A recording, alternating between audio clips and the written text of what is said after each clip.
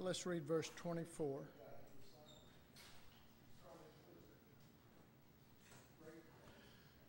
Now, we've already read some of these scriptures, and we, uh, we want to make sure we uh, emphasize this time for sure this part. Verse 24 says, Thou shalt put all in the hands of Aaron and in the hands of his sons. Then it says, And thou shalt wave them for a wave offering before the Lord. And thou shalt receive them from their hands. And then uh, drop down to verse 26 And thou shalt take the breast of the ram of Aaron's consecration and wave it for a wave offering before the Lord, and it shall be thy part. And thou shalt sanctify the breast of the wave offering and the shoulder of the heave offering, which is waved and which is lifted high, of the ram of the consecration, even of that which is for Aaron, and of that which is for his sons. And it shall be Aaron's and his sons by a statute forever from the children of Israel, for it is an heave offering and it shall be a heave offering from the children of Israel of the sacrifice of their peace offerings, even their heave offering unto the Lord. Uh, again, uh, over in Leviticus 8, just two verses here. Verse 27 and then 31. And he put all upon Aaron's hands and upon his son's hands and waved them for a wave offering before the Lord. In verse 31, and Moses said unto Aaron and unto his sons, Boil the flesh at the door of the tabernacle of the congregation. There shall, you shall eat it with bread uh, that is in the basket of consecrations, as I commanded, saying unto Aaron and his sons, shall eat it. All right. The first thing that God does is uh, changes their garment, their identification, changes their occupation and he makes them uh, his priests. And then he takes everything out of their hands that pertains to their former identity, their occupation. But what do the priests do now? I mean, their hands are empty. And then we begin to read that God first of all empties their hands and then he fills them. This is all in accordance with the progression of the walk that God does in our life. Sometimes it may take years for a particularly stubborn person or hard headed person for him to empty their hands. I mean, let's, let's just admit that, you know. Uh, this consecration was for eight days. Sometimes it can take eight years.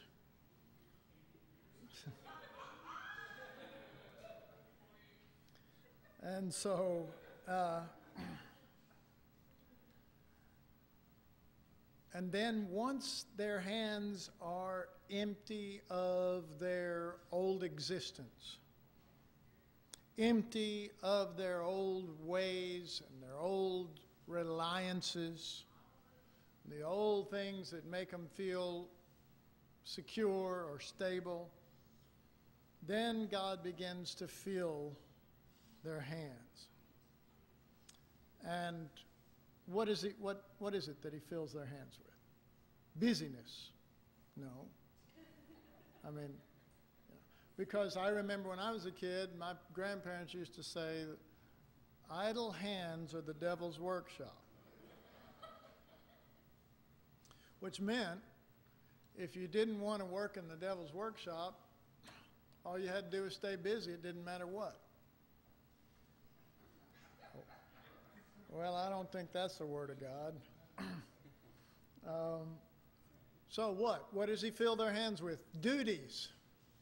No, no, not that either he makes this statement None of you shall appear before me empty. None, talking to the priest, none of you shall appear before me empty. Now, this is where we have a hard time because we don't translate everything by the new risen translation,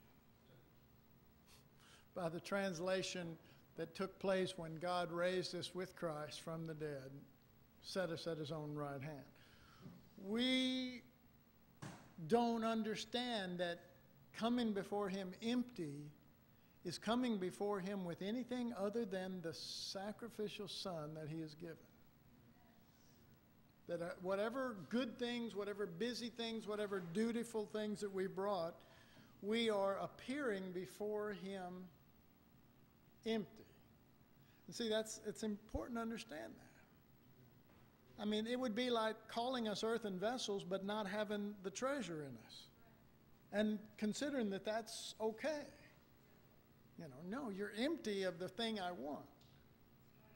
And so, uh, and, and I mean, it's an interesting phrase. None of you shall appear before me empty. You should appear before me full. or, can I say it a different way?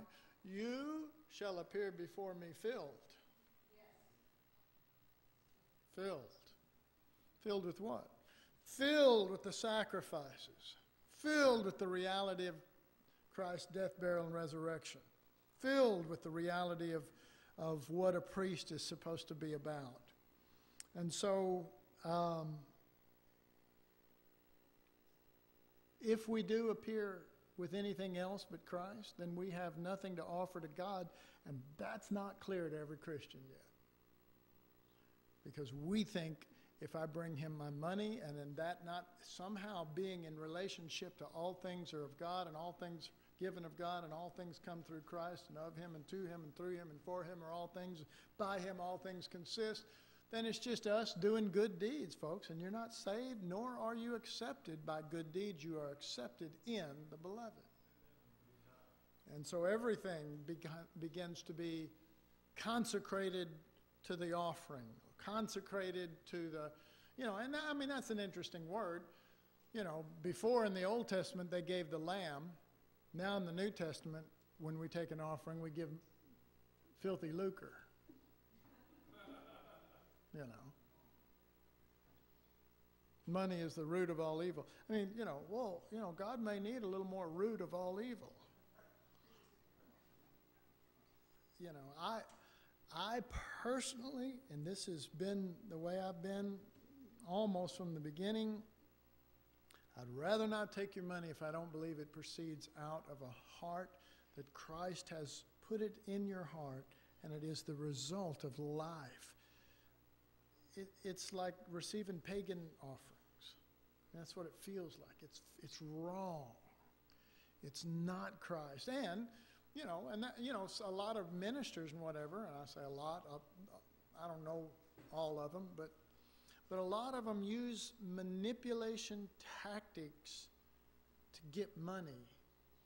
And I believe that's the exact opposite of Christ. I do. I believe it's the exact opposite. Manipulation or power, I believe, are the kingdom or the government that the enemy is ruled by. If he can't if he can't sweet talk you into it and manipulate you in it, then he'll intimidate you into it. You know. And if you're not going to be if you're not going to be moved by his flattery, then he'll try to scare you to death. He'll raise his voice and get all, you know, and you'll start feeling all shaken on the inside. You know? Jesus said, Whosoever will. It's his heart. Because he wants your heart. And, you know, what did, what did Paul say in his writings, even about money? He said, you know, if you have a willing heart, it is already accepted, even if you can't give. Because God looks on the heart, and man looks on the outward appearance. Jesus standing there watching all the people putting in, and this one widow puts in a mite, one mite, which is almost like nothing. And Jesus raves about it. Raves about it. I'm telling you, The Lord cares about the motivations. Folks, we do dumb things. I'm telling you, we do dumb things. I do dumb things. I, you do dumb things. You, well, well Scott, you do. You.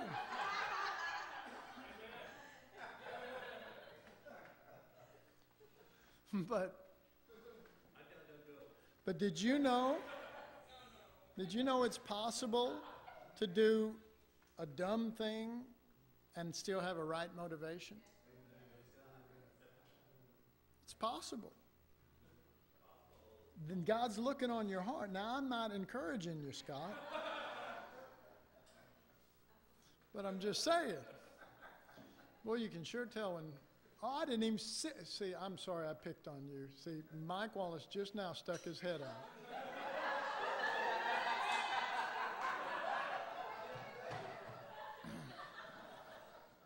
and anyone who's been through this Bible school knows Mike Wallace's purpose and why God sent him here.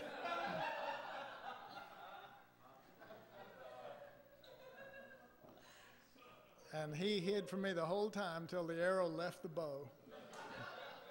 And then I saw his head stuck, stick out. It's like when, you when your, your shotgun has no ammunition, then he goes, He's catching on after all these years. All right. So, if we come before Him with anything other than Christ, we come before Him empty. And we have nothing to offer to God. However, it's so interesting because he fills our hands with offerings. He gives us what to offer, and that's Christ. That's the Lamb. That's the Lord Himself. And now there's a change that is taken because you remember when, when it, this thing first began, I mean, the very first part up there, first of all, their garments are taken away and everything. And then the sin offering comes and they lay, remember, their hands? And you remember the representation. The, the laying on of hands took place with the sin offering, the laying on of hands takes place with the burnt offering, and the laying on of hands takes place with the peace offering. And they're all three a different meaning behind it. It is not the same thing. But the laying on of hands of the sin offering, which was the first one they did, their hands were full of their own sins and they emptied them by putting them on, on the sacrifice. But now, their hands are no longer full of sins. Their hands are full of Christ and Him crucified. Their, la- their hands are full of uh, the offerings. And so, um, the priest begins to forget forgetting those things which are behind. Not just because you failed, not forget all the bad, folks. Forget, forget the life that you had apart from being one with Jesus. And begin to have your hands filled with Christ and Him crucified. Now, that's That's not going to happen unless we move past the sin offering and even past the burnt offering fully comprehend God's communion. It's not going to happen. We will do it because it is a duty, not because it is our life. We will do it because, um, you know, we were taught, not because it is our life. We will do it because we believe that, you know, Jim or Randy or Scott or somebody around here really, you know, is a man of God and that they're, I believe what they're telling us is the truth. Still not the right motivation, and it's not what's going to please the Lord. It is when we have seen this thing, it's when we see it, and now we can but be priests of the living God and can do nothing short of that the rest of our lives. It's the ram of consecration, folks. This consecration is not to duty, It is a consecration to communion and of eating the same thing God's eat, eats and communing with Him about it. Christ and Him crucified. Behold the Lamb of God. And, you know, these are they which follow the Lamb whithersoever he goeth. Not just words, not just a nice thing to say. There's so, there's, a, there's so many scriptures that we can say, and they mean nothing to our life. I mean, they mean, you know, most of them we've, we've twisted to have only meaning to our life, in, in other words, to the life that should be crucified. And we keep trying to get God to bless the life that He sent to the cross. And that life cries out harder and harder for more uh, blessings and more miracles and more this and that because we're self focused and because we haven't let what should have been dead with Christ pass away and be buried. And be buried, put out of sight, and now to move into resurrection.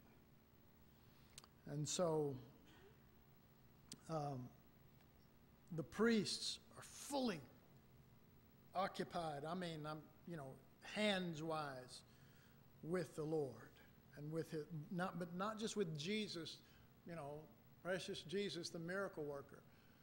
The one, I want to tell you something. The miracle worker is a lamb. He's always laying down his life for you. He's always taking care of you. He's always looking out for you. He's always pouring himself out for you. He's always giving his strength for you. He's always.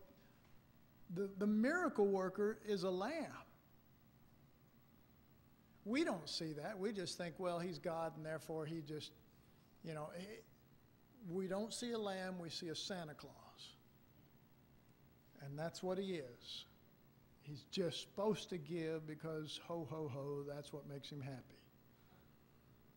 But no, it's not like the spirit of St. Nicholas.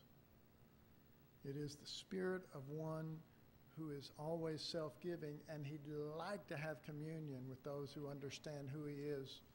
He'd like for us to move into the peace offering aspect of this whole thing. So, once your hands are empty, then he fills it.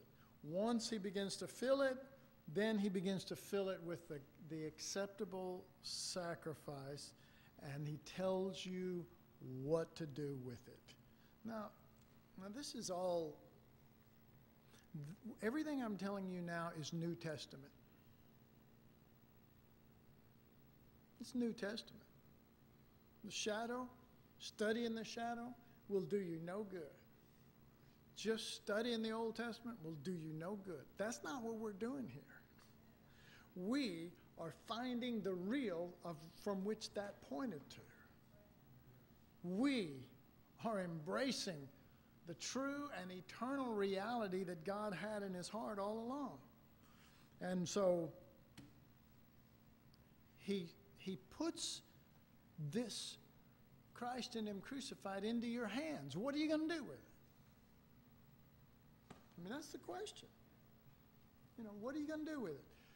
But he doesn't, he doesn't say, Now I give you the lamb, you just do whatever you think's best. There are very specific instructions of what you do with your hands in relationship to this lamb. And the, the first one, uh, verse 24 of Exodus 29, we read, uh, it's probably before this, but it says, Thou shalt put all in the hands of Aaron and in the hands of his sons, and shalt wave them for a wave offering before the Lord.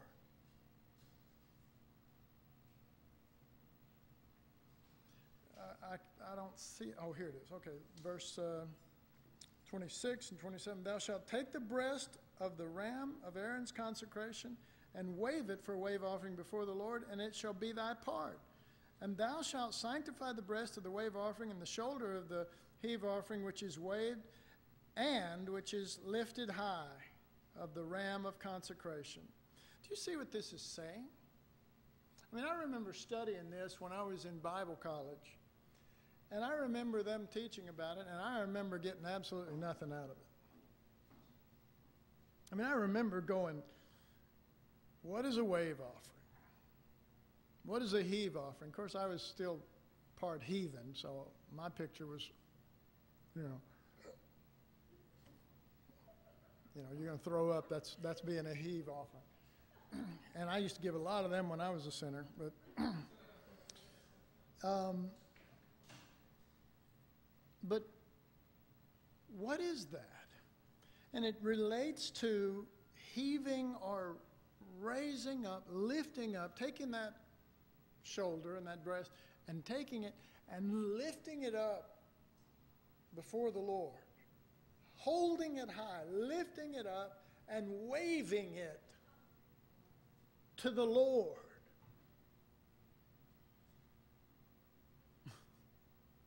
you know. So the first thing he tells you to do when he gives you the, what to do with your hands from now on is I want you to take this thing and lift it up. I want you to take not the sin offering. I want you to spread the news among my people, not among the heathen out there, but among my people about this communion priesthood and this reality that we are to eat of the same thing that he eats of and, this, and be sustained by this very self same thing that God is, God the Father is sustained by. His Son, His self, selfless Son. And so um, that's why it's called a heave offering. And, and that reality is, today is, we're not just lifting up Jesus. It's, you know what, you go to church and yes, you know, lifting holy hands, but folks, we're supposed to be lifting up Christ. Most of the uh, lifting up holy hands, our hands are empty. Well, that's what he tried to get us to the point. Just before you become a priest, he wants to empty your hands of your old identity and your old stuff. He doesn't want empty hands. He wants this self giving one, the one who is literally cut up, bruised and wounded, to be lifted up. Here's what's important to God. I love this, this concept of a wave offering. I just, because it says wave, it doesn't, this doesn't say wave it before the people. This says wave it before the Lord. It's like, here it is. You're trying to get God's attention with what is important to Him. You draw, you, you know what will draw His attention. And you're lifting that up. How many live that way? How many proceed that way? Just reading some of my notes. At the same moment the sacrifice is to be waved before him, that will get his attention. In other words, we are to catch his attention by waving what is pleasing to him. What of Christ crucified that the priests were handling was waved before the Lord. Did you hear that? That which pertained to Christ and Him crucified that they were handling that they were separating out and dissecting and examining the inward parts, that's what you lift up. And that's what is of interest to you because you're God's priest. And you know it's of interest to him because you wouldn't have known if he hadn't have told you about it. And you're going, here it is, over here, over here, look over here, here it is. It's him, it's Christ crucified. This is what we've been working with. This is what our hands are involved with. This is what excites you. This is what you love more than anything else. Look here. Hallelujah. Hallelujah. Let me read that last one again. What of, what of Christ crucified that the priests were handling was waved before the Lord, drawing his attention to the fact that they were identified and occupied with what it was that priests should be occupied with. See, we're going, you know, we're, we're waving, uh, what are those uh, mortgages?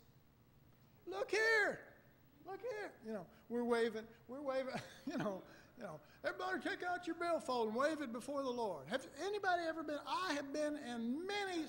Take out, you know, oh yeah, he's there's the lamb. I see it. there's my son. My God. Where in the world do we come up with that? I just answered it. In the world. Where in the world? You're going to be a priest. You're going to be gathered priests together in a gathering. You're not going to be lifting up your wallet or everybody lift up your wallet. You're going to, because first of all, you lift up and wave before him what would catch his attention. I mean, just just imagine, just okay, you know, look look at your your little locale, Denton, and then just start drawing back, and then all of a sudden you see the Metroplex, and then you see uh, Texas, and then you see the United States, and then you see the, the world, and you're going back, you know, and, and then you stop at a certain place, and and everybody's like ants going everywhere and driving this and doing that. Each one's got their own, uh, trying to get their own specific identity to be a certain way and be, you know, special. And, and he's looking at all of this. And the eyes of the Lord run to and fro over the whole earth. And he's just looking for just somebody to lift up Christ and Him crucified. What pleases Him? The nature that was before the world and the nature that will fill those who will be after. The eternal life. That's what he's looking for. He's looking for Christ crucified. He's, everybody's waving stuff and doing stuff, and you know, looks on the stock exchange and they're going like this, you know, and he you know, he looks over in Amsterdam and the prostitutes are going like this and everybody's waving something and trying to get attention and all this kind of stuff. And maybe in some little dorm room in Denton, Texas, some little student is going and lifting up the lamb and saying, I want to be identified with you. And the father goes, stops everything, just goes. He doesn't even see all that mass of movement. There it is, right there. Right there. That's what I've been looking for. That's what pleases me, and that's what I told them all to be occupied with.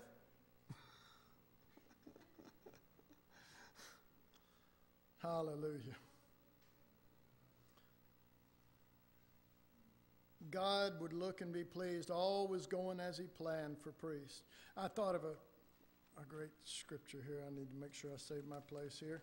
Turn with me, if you would, to uh, 1 John. Just the Spirit of God just spoke this to me. Just told me there's a lot of priests that are f- wrapped up in this thing, even if they don't fully know about all the sacrifices and stuff. 1 John chapter 1, verse 1 through 3. That which was from the beginning. See, this isn't some local thing or something that started. This was from the very beginning, which we have heard, which we have seen with our eyes, which we have looked upon, and our hands have handled. Do you see? What they lifted up is what they'd been handling. They had been, they took this sacrifice, they killed it, they opened it up to examine the inward parts, and then they held it up to God. They, they were handling this word of life. Then he goes on, For the life was manifested, and we have seen it, and bear witness, and show unto you that eternal life which was with the Father and was manifested unto us. That which we have seen and, and heard declare we unto you, that you also may have fellowship with us, and truly our fellowship is with the Father and with his Son, Jesus Christ. Does that sound like anything like what we're describing here over in Exodus? Or does it sound like the, the parleyances that are going on in most churches? I fear that we're not examining Christ. We're examining, you know, I'll tell you what we're examining. We're examining one another. you know. We have, we're no longer priests, we're fruit inspectors.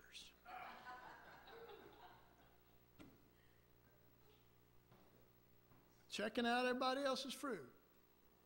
And it's amazing because they might have a lot of fruit, but we don't notice that. We notice when there's some of the fruits come out sort of peaked and bad and moldy. Oh!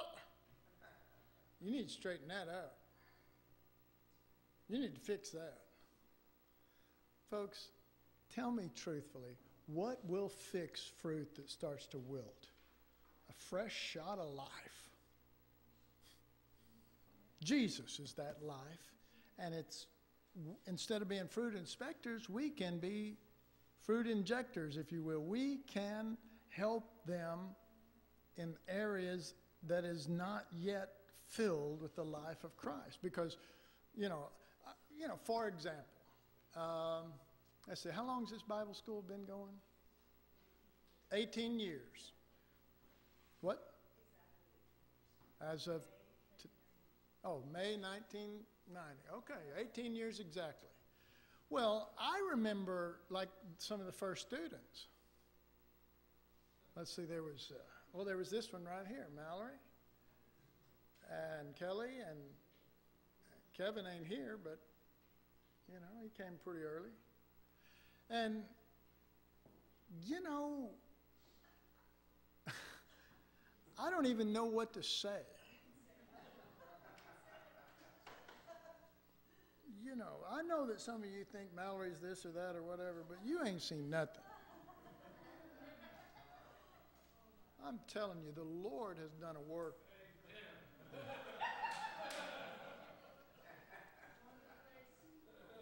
and one of the reasons, and I believe this with all my heart, is that her heart is after the Lord and it's never left that. You know you know, there's nothing, you know, what can you say about Kelly? Can anybody tell me what Kelly was like even 10 years ago? I'm telling you, you know, it was like she wasn't even here. Really, when she first came, it was like there wasn't even a person there. Really. I mean, and, and if anybody has any demon problems, she has a doctorate in demon problems and she's still going with the Lord. You know? And bringing others to the Lord and lifting the, lifting the lamb up high. Both of these are. That's it. You know, whatever problems were 10 years ago, 30 years ago, 18 years ago, whatever problems there were, folks, there are, there are not new problems that they have today, folks. They're just that some of the old have been fixed and moved out of the way, and now you can see some other ones. Do you understand? I mean, it's not like we're coming up with new problems. You know, we, we've got plenty. But the Lord actually starts working in our life, and a lot of the problems. I mean, I remember, I remember Mallory coming to me years and years and years. Oh, Randy, I got this problem. Oh, Lord, yeah. and she probably doesn't even remember what she said, and I bet you that problem is not even at work in her life anymore, and she may not even remember she had it. Because, number one, you're getting on with the Lord, and number two, it's usually the latest problem that you're more aware of. Am I right? You know, we, you know. But, the, but there is progress happening. Christ is being formed in us. We must believe that. If we don't, we die. if we don't, we die. All right. Maybe I should read what I said on this. Uh, that which we have seen and handled was manifested unto it, and we show it unto you. That's just what the priest did. uh, what we see here of Jesus, we show by demonstration from now on to the body. And we show it to the Father. This is your Son. I'm lifting up your Son. I'm not lifting up myself. I'm not getting better and therefore I quit lifting up the Son. I'm lifting up myself. Folks, they didn't lift up the sin offering. This was not a sin offering. You lift this up because you are now in communion with God and you are convinced this is what He wants, and I'm lifting this up because this is what He wants. And that's the only reason. And it's not about getting better, it's about giving the Father the Son and communing with Him in it. All right, let's see.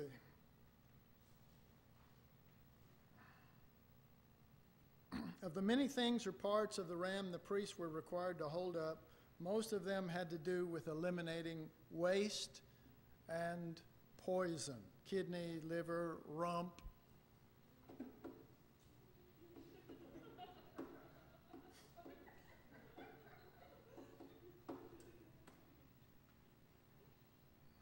Do I need to spell it out for you?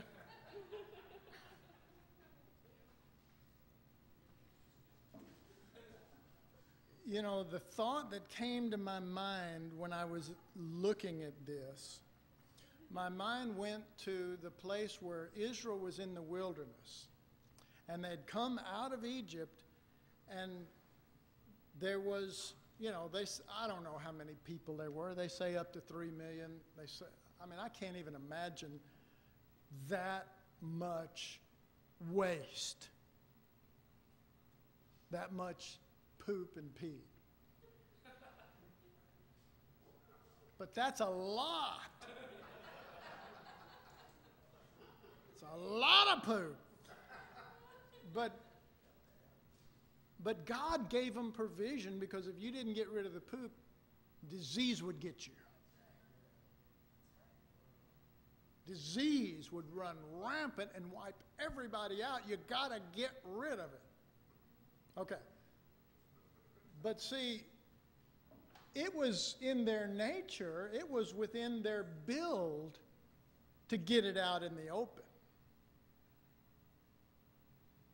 You get an urge, you go get it out. Do you understand what I mean?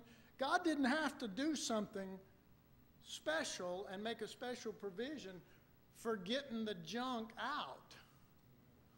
And I, I've been around ministries, folks, I've been around ministries where the whole ministry was this you have light sessions, and you come together and you meet either with a couple of individuals, three or four individuals, and they sit there and they work you over and they bring out all of the stuff that's wrong with you. Sound like fun? And that was, and they did that week in and week out, and they, the whole point was nothing shall be hid. Get it all out. We all need to be transparent. Okay, that all sounds real good, but when everybody's pooping out in, open, in the open, it ain't so good. You know, you say, uh, I am incredibly constipated. I have got to get this out. I'm sorry I'm using these examples, but it's, you know, you know the Chinese word for constipation, don't you? Hung chow.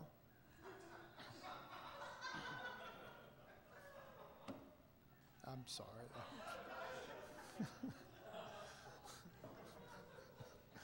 anyway, um, man.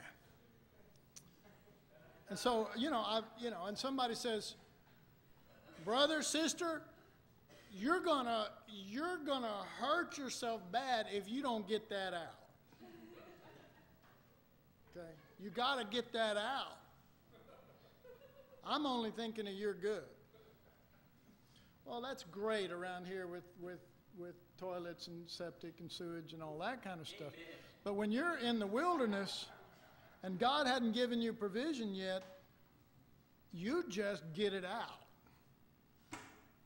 And everybody gets to enjoy the look and the smell and the proximity and everything else.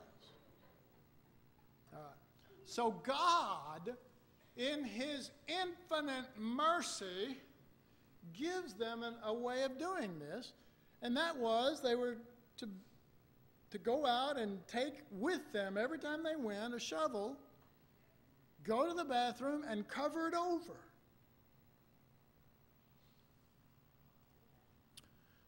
All right, what is, what is, the, what is the reality there? Well, the reality is every one of us have junk on the inside of us that smells and we don't, no one else needs to know about it. But we do need to get it out. So, folks, death is not the only answer, burial. Get it out and then get it gone. because we don't get it out and just wipe it all over everybody. I'm just trying to get it out. You know? No. Get it out and then bury it and let's move on. You know, some people think the only movement of God they have is a bowel movement. All right, I need to get off of that.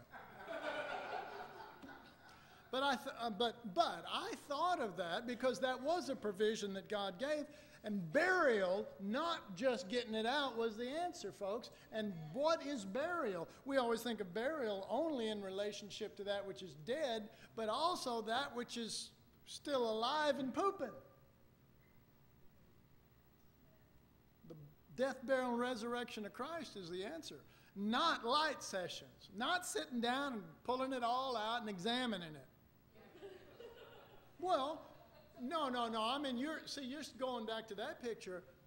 But is it not the same thing to sit down and just pull everybody's junk out and look at it? Is it not really basically the same thing?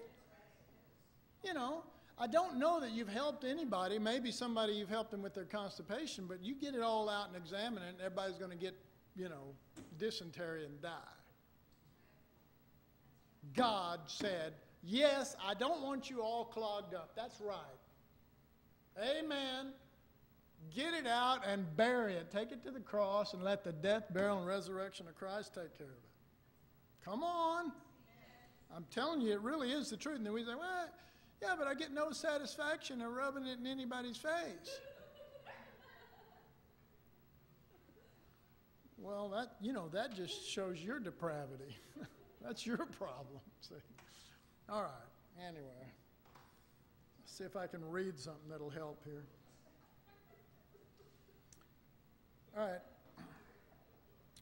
First, they laid their hands on the victim's head in relationship to believing faith and identification. Now, their hands hold parts of the insides of Christ, examining how he eliminates waste and poison. And that is, folks, if we don't find out God's method of how to eliminate waste and poison, we're going to just be living in crap. They were specifically told go right to these parts, pull it out, examine it, and find out how the lamb deals with it. That's the truth. As priests, we must meditate on such things. And here's why I say that because the examining, and I got into this in the, the offerings and stuff, the examining of the inwards of Christ is literally taking those and looking at them and contemplating it and seeing the way that He functions and learning it as priests and imparting it to the people of God. How are we going to impart anything? Let me tell you something right now. You cannot impart you cannot impart Christ by teaching doctrine alone. You cannot. Whatever is living in you and whatever has got hold of you more than you've got hold of it, whatever's got hold of you, that can be imparted and probably will be imparted.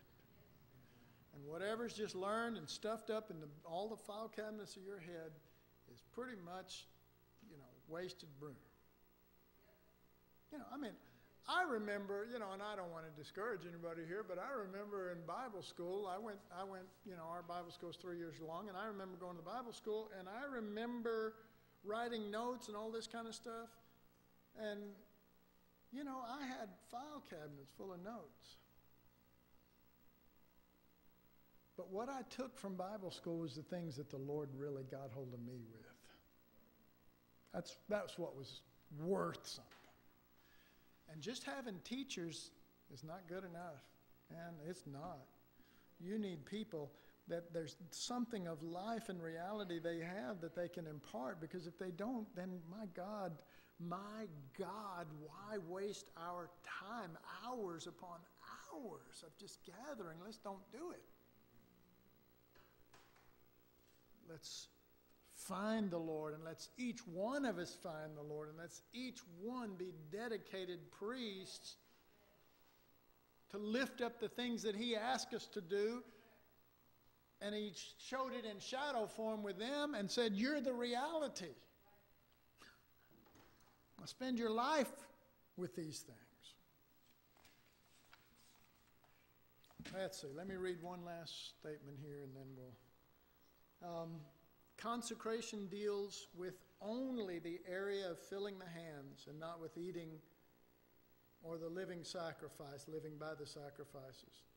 Because then it is no longer us, but Christ. In other words, consecration is not something Jesus does. I mean, it is. It, it's, it's not really a thing, it's, a, it's part of his nature. Do you agree with that? I mean, Jesus is not consecrated, he's, he's, that's who he is towards the Father. It's the way he is, you know. This is why, I mean, if that was true, I'll just consider this. If that was true, if it's true that Jesus doesn't have to be pumped up, that when he was 12 years old, he said, I must be about my Father's business. He didn't say, I, I'm really thinking of committing myself. He said, I must. Have you ever gone through the New Testament and looked at that? You must be born again. We know that. You must be. Except you eat my flesh and drink my blood. There are many examples where it says you must. Jesus said, I must be about my Father's business, not by command, but by inward motivation and nature. He would serve the Father, not just all the days of his life down here, but from all creation before and after. Am I right? Okay. Then, then if, if God's plan was to put Christ in each and every one of us, why would we preach consecration other than to get us to because the consecration here is to get them to consecrate themselves to examining the lamb, opening it up, discovering his inward parts, and then eventually eating it. And what they eat, they will become. You are what you eat. Right? Which makes me a big old bag of Cheetos, but that's another that's another story. And so and, and then why would every church have to have special revival services, special things to get everyone to consecrate themselves again? Why not get Christ formed in everyone and Jesus will live that way to the Father? Is that not right or wrong? And when I find areas where I'm not, I don't see the consecration, then it's one of two things. It's either Christ needs to be formed in me or I need to get my eyes back on Jesus. Or I'm in a phase where I need to be examining these things, and as I examine them, it will, I will consecrate myself to the Lamb and to, to the Word of God, and, meaning to Christ and Him crucified, until what I am examining is in me and I eat it. And that's the next part that we're going to talk about is this, because that is the next step that they went to. But the ram of consecration, folks, you have to dedicate yourself to getting into the Word. I mean, uh, my little ritual still is somewhat is, was something similar to this. I would search the scriptures until I got so bored I didn't want to see another Bible for a long time. Then I would, having gathered certain books, I would ask the Holy Spirit to guide me and pull a book out, and it would have stuff that was just really, really good. And then when I got bored with reading, I would put on a tape of somebody or the Word or somebody's preaching, and I'd just let it roll until I got back around to where I was ready to get back in the Word again. You see what I mean? In other words, I had options and I had different things that when, when I would feel like I was losing interest in just reading the Word all the time, I could listen to a tape. And then sometimes you're in a situation where you're driving a long way where you can't read, so you do listen to a tape. So you start fitting your lifestyle to be consecrated to examining the inward parts of the Lamb. You, and, and you realize that you're human and you've got pulls and this and that, but you're consecrated to do all that you know to do to keep a flow until you've eaten of that life, and then you don't have to keep a flow. The life has its own flow. Now, you will still have to stay in the Word and all that, but you understand what I'm saying. But I think, and this is, you know, this is going to sound weird, but I think that I think you can stay in the Word too long to your detriment. I think there's a time to back off. If nothing else, listen to worship music or something. There's a time to back off. You'll be back. You'll be back knocking on the door. I want to see you, Lord. So don't, if you're going through one of those times, don't go, oh my God, I haven't, I haven't really, really studied and looked into the Word in six years. Then you got a problem. No, no. But I, but I believe, and I believe in our walk, there's a certain place that you're at where the Word doesn't mean as much to you. But I do believe this. I believe the more the Lord gets your heart, you're going to end up in the Word of God. You know, I remember Jennifer when I when they first started coming here, and we would have some talks and stuff, and I, I remember her saying, um, "Well, what's all this big deal about the Word of God?" And um, I don't really see any need for searching the Word. I mean, we, this is about just living or something. I don't even remember. I'm sorry. I'm going to make a bad whatever. And I have uh, had a few talks with her since then, and it's all about the Word. I mean, she's seeing Jesus in the Word, and she's got a hunger for the Word. And she wants more of the, the Lord through the Word.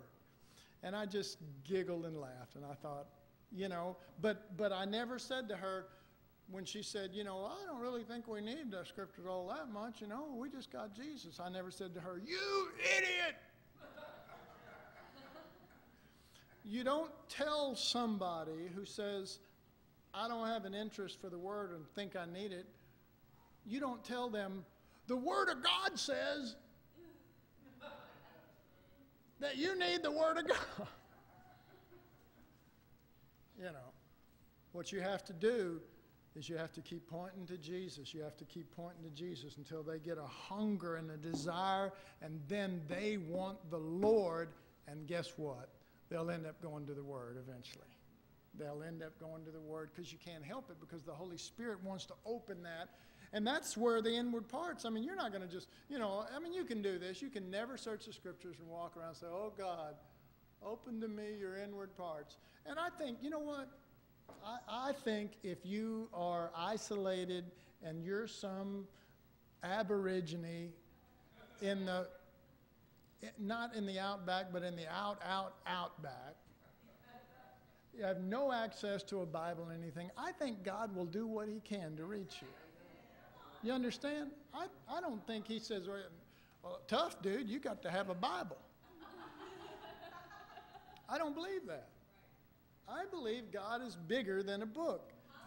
But you know what He did say? He said He gave the oracles of God to the Jews, and that was a special thing so that they could know the Lord we have access to it, my God, you know. And then I, I guess I'll try to close with this, but but I remember some time ago somebody said to me, uh, "Have you ever read so and so, so and so?" And it was you know like the the book of Enoch or something. Well, you know, in the Bible, there is no book of Enoch. You, you ever read the book of Enoch? No, can't say that I have. Oh, man, it's really good. Really? Yeah. Said, so, what do you think about that? I mean, you think we ought to be studying the book of Enoch? And y'all know, so most of you know my answer. My answer is when we get this one figured out, then we can move on to the book of Enoch. You know, when you know everything there is to know about this one Matthew, Mark, Luke, John, you know, get this one down. We're pretty sure about this one. Then, then you can hit it with Brother Enoch and his book. For some reason, when he said that, I could just see Enoch being taken and this book flying down, fluttering down. There's a book of Enoch right there. I don't know. I'm sorry. I got a weird mind. All right. I think I got one sentence left, and then I'll. All right. Filling the hands is examining something that is outside of you, contemplating until it becomes life and Christ in you. The next class, we will get into this eating of the sacrifice, and it's not eating of the sin offering, it's eating of the peace offering. All right, let's pray. Father, we just thank you so much for the Holy Spirit because we're all hopeless and helpless and helplessly wandering and empty and dumb and bad and everything else without the divine influence of the Holy Spirit who never changes his heart and never changes his focus and never changes his mind, which is to get us to Jesus and to get us so to Jesus that we're one and we're conformed and we're eating of the same thing that the Godhead has always eaten of. Communing in eternal life. And so, Father, we just ask for the divine support and intervention of the Holy Spirit to help us and to, and to do two things with the light. Let it expose our darkness, but also let it let the light be a refreshing warmth and a healing balm to us as we look into the face of Jesus. Father, we long, we long to be conformed to the image of Christ. We've not yet attained, but our trust is in you and we cannot we cannot give up. Help us, Lord. Jesus name. Amen.